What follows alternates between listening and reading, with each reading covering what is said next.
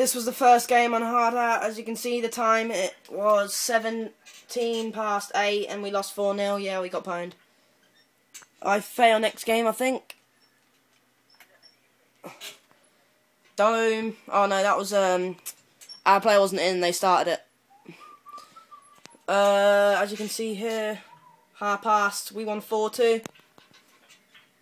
And the last game was bootleg. As you can see the time 38 past and we will beat them 4 1. Thanks guys, bye.